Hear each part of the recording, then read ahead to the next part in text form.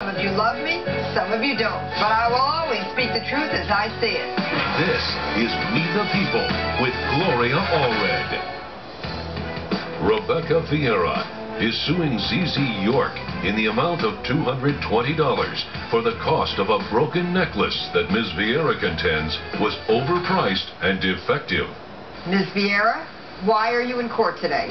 Your Honor, I'm here today because I bought a $220 necklace from Zizi here, and it broke within the next day that I purchased it, and I want my money back. All right. Uh, Your Ms. Honor, it's Mrs. York. It's not Zizi. We're not that close. All right. Ms. York, Thank you. Your you Honor. may proceed. What is your defense? First of all, did she buy a necklace from you? In fact, she did, Your Yes. Honor. Can I talk? All right, she did. Correct. Don't she be did. speaking to her. Speak to the court. Got it.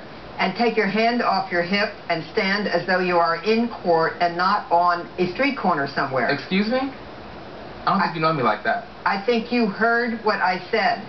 Clear enough. All right. Now, let me see. Move be from the podium to the table. Let me see what you're wearing there. Oh, you like it? You want to, should I walk more? She for you? obviously Did I doesn't. ask you to do that? No? Oh, is that Brian? Okay, excuse me. I think you need to stand beside her. You are not to Oh, approach. you might need to stand beside me then. You are, you are I'm not sorry, to. You're not to approach the bench. That is the court Okay. without asking, Okay. and permission will not be granted for that either. Okay. All right. Now, look around. Check it out. Where are you? How's it You're in a court of law. Do you I am- understand? I'm sorry, I'm not a criminal. I'm not used to this. I'm new to this thing. All right. Well, you're new. Let me tell you what the rules are. You will, first of all, stand behind the podium. You stand with your hands at your side. Okay.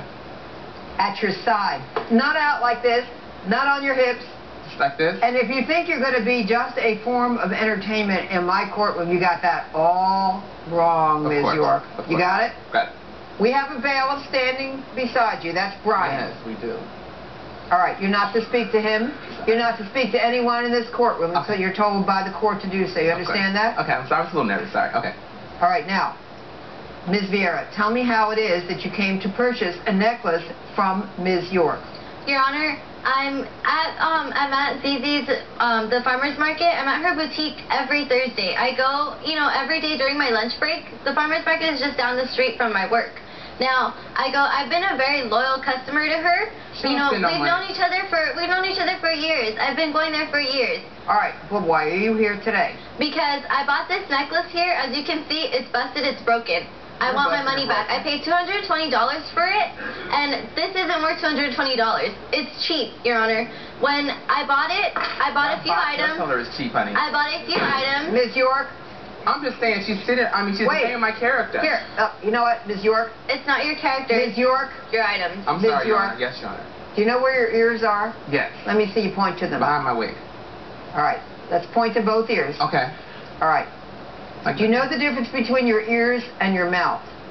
In most cases, yes. Okay. The ears are for listening, and that's what I want you to do. Okay. The mouth is for talking. That's not what I want you to do right now. Okay. Do you understand? It's your hands, elbows, knees, and toes. May I continue? I want my money back. All right, you may continue. Thank you, Your Honor. After I purchased the necklace, um, I went home and you know I took a better look at you know at the at the items that I purchased, and I saw that this looked fragile. It looked fragile. It looked cheap, and sure enough, I was right. Now I called Zizi back. I called Zizi as soon as I took a look at it, and I told her I was like, you know what, Zizi, um, you know I I took a look at it and I don't like it. You know, it's not worth it's not worth my money. Well, was it because it wasn't your, worth your money? But you mentioned that it was fragile. Were you concerned that it was going to break? Yes, I was, and I had to And did you that. tell her that? Yes, I did tell her that, Your Honor. And what did you tell her you wanted to do as a result I of your being her. concerned? I told One her. second. Go ahead. I told her that you know I wanted to exchange it for another item, something better, and she completely lashed out on me, went very dramatic, and told me that that was never going to be possible. When Your Honor, she's done this for me before. All right, so she said she wouldn't take it back, and that's why you're in court today. Yes. Do you, what happened you- after that? Your Honor, she did tell me she would take it off my hands, but to sell it to somebody else, she was not going to give me anything for it. Not even no store credit, no refund, nothing. But she was she was going to be able to take it All right, back. so what did you decide to do then? Um, I held on to it. You know, I said, okay, I'll give it a try. And sure enough, I wasn't able. I put it on. I wasn't even able to walk out the door with it. What happened? Because it busted. Coming up on We the People with Gloria Allred. Are you ready? Yes, ma'am. Honor. Thank you. Of honor. Your honor. Ma'am of honor. Maid of honor. Yes. No, not maid of honor. Your honor. Your honor. Thank you. And later, And when I was let the fire out, it got her hair on fire. Just an accident. Just, an accident. It was a total Just a accident. coincidence that she was at the time smooching it up with your ex-boyfriend. Right, it was a total accident. I mean, he- Coincidence. closed captioning provided by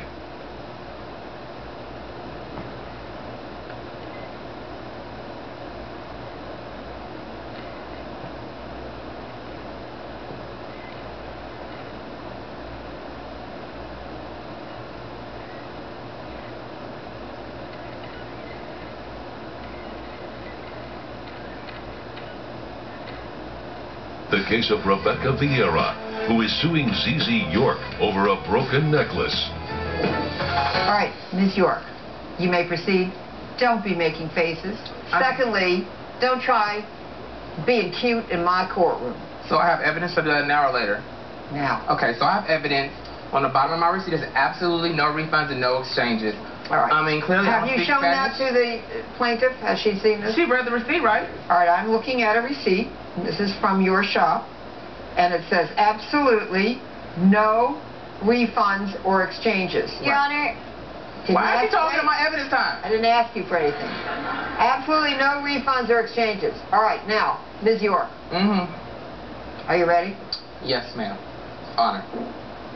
Thank you. Of honor. Your honor. Ma'am of honor. Maid of honor. Yes. No, not maid of honor. Your honor. Your honor. Thank you. He's, he's making me nervous.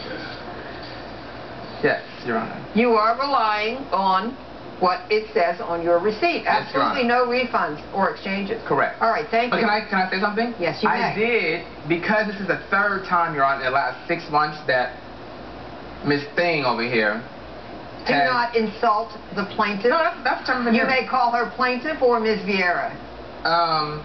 So basically, Your Honor, I said, you know what? What is the issue with the next? It's busted. I said, explain to me what exactly busted means in regards to a necklace. I mean, how is that busted? Did you, were you doing something inappropriately? The man that's not your husband that you be with on Friday nights? oh my God. Yeah, right? Okay, or Your was Honor, she... Didn't I tell you not to address? Well, because that's sidebar evidence. Like, you know what I'm saying? She basically has a little friend on the side. You side. have Goes been out watching I Ms. called her York, before Ms. it York. busted. You've been watching way too much television. Your Honor, she busted open. I'm not lying. All right, the court is ready to rule. Even worse. Listen up, Ask her husband. He knows me. Ms. York. Boom. Ms. York. Do you hear your name being called, Ms. York? Um, I heard it. I'm sorry. I was distracted by her tackiness. All right. Well, you may be very, you may be Have you very looked in the distracted mirror? by. Every you may day. be very distracted by the ruling. Listen to the judge. I'm sorry. Listen to the judge. Don't look at me like that. Ms. York, you are wasting the court's time, I'm sorry. and that's something the court takes very seriously and does not like at all. If you get my gist. Can I say one more thing? All right. Here, no. thank God. Evidence is closed. I word 12. This is the ruling. Any merchandiser who sells goods explicitly or implicitly warrants that those goods, those products, are in a condition that is usable and not defective. You have a right to get your money back if what you purchased is defective. I find that you did not intentionally break this necklace. You weren't trying to get back at her. You had a record of purchasing goods from Ms. York. You liked the jewelry purchases you had made in the past. But this was obviously defective. As a result, I'm going to rule for the plaintiff, and you are going to get your money back. Uh-huh. Mistrial. Judge Allred has ruled in favor of the I'll see you plaintiff. Thursday. The Uh, yeah, get your defendant is ordered to pay $220.